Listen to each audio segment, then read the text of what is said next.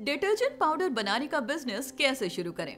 Detergent powder साफ़ सफ़ाई के लिए बहुत ही ज़रूरी चीज़ है। इसका इस्तेमाल कपड़े धोने के लिए किया जाता है। बाज़ार में कई तरह के ब्रांड ऐसे डिटर्जेंट बेचकर बहुत अच्छा लाभ कमा रहे हैं। दुकानों में कई ऐसे डिटर्जेंट हैं जिनकी कीमत बहुत ज़्यादा है। बड़ी बड़ी कंपनियाँ अपने ब्रांड का डिटर्जेंट बहुत आसानी से बेच रही हैं। आप भी अपने ब्रांड का डिटर्जेंट बहुत ही आसानी से बनाकर बाज़ार में बेच सकते हैं। इस बिज़नेस में आपको बहुत अच्छा मुनाफा मिलेगा। आज हम आपको इस बिज़नेस की पूरी जानकारी देंगे। वीडियो में आगे बढ़ने से पहले चैनल को सब्सक्राइब करें और बेल आइकन को क्लिक करना ना भूलें।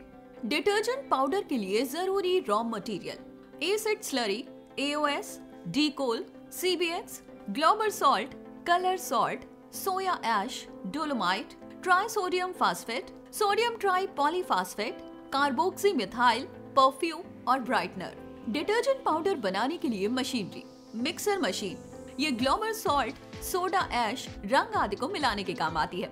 स्क्रेमिंग मशीन इसकी मदद से बने हुए डिटर्जेंट को और भी बारीक बनाया जाता है। सीलिंग मशीन इसकी मदद से पैकेट्स को सील किया जाता है। लागत कितनी लगेगी? इस बिज़नेस को शुरू करने के लिए कुल खर्च कम से कम पाँच लाख रुपए का आता है। बिज़नेस का निवेश आपके मशीन की कीमत पर निर्भर करता है। अगर आप मशीन कम कीमत की, जैसे कि पचहत्तर हज़ार रूपए के आसपास की लेते हैं तो आपका निवेश लगभग ढाई से तीन लाख का हो जाता है। किन किन ज़रूरी लाइसेंस की आवश्यकता होगी? डिटर्जेंट पाउडर बनाने के लिए आपको अपने फर्म को एल एल पी ओपीसी आदि के अंतर्गत रजिस्टर कराना पड़ता है। आपके फर्म का एक बैंक अकाउंट होना बहुत ज़रूरी है। इसके साथ पॉल्यूशन कंट्रोल बोर्ड की तरफ़ से भी कंसेंट टू स्टैब्लिश और कंसेंट टू ऑपरेट दोनों तरह के लाइसेंस प्राप्त करने की आवश्यकता होती है।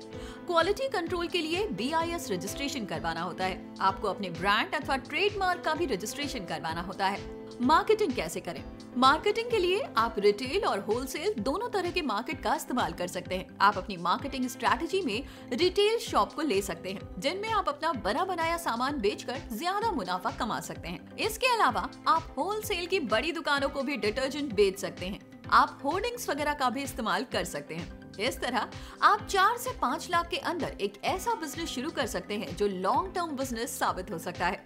तो आज ही शुरू करें अपना खुद का बिज़नेस अगर आपको हमारा ये वीडियो पसंद आया तो लाइक और शेयर करें और ऐसे और बिज़नेस आइडियाज़ के लिए हमें कॉमेंट करके ज़रूर बताए। ओके क्रेडिट बिज़नेस ओके है।